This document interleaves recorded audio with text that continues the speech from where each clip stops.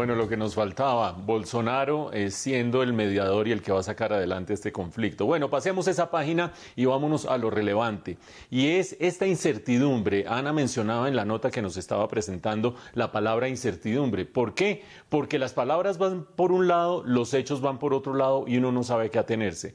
Palabras dichas por el mismo Vladimir Putin después de ese encuentro con eh, Olaf Scholz, con el eh, primer ministro de Alemania, dijo literalmente, vamos a empezar a retirar las tropas. Y ustedes ya vieron, retiro de las tropas de las operaciones que estaban haciendo al lado de Ucrania, dicen ellos, los rusos, y retiro el próximo 20 de febrero de las que están haciendo operaciones en Bielorrusia, dicen ellos, eh, los rusos. Mientras tanto, Anthony Blinken ha dicho, y lo repetimos en la nota, que los satélites no muestran que haya tal retiro de tropas. Ambiguo un anuncio por allá, los hechos van por otro lado, pero hay una cosa que sí es contundente. Hoy era supuestamente, como lo decía Giovanni hace un rato, el día de la invasión y no sucedió afortunadamente.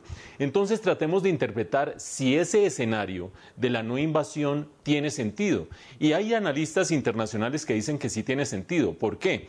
Porque Rusia se ahorraría las sanciones que el mundo entero, pero sobre el mundo occidental, pero sobre todo Estados Unidos, le impondría en caso de invadir sanciones económicas, se las ahorraría. Se ahorraría una confrontación bélica que en todo caso no tiene mayor eh, respaldo entre los rusos, según han dicho las encuestas, y también en Ucrania está generando resistencia, dicen las encuestas, lo metería en un conflicto bélico que podría significar un altísimo costo y todo eso haría que no valiera la pena hacer la invasión. En el otro plato de la balanza, ha logrado por el momento sus dos objetivos.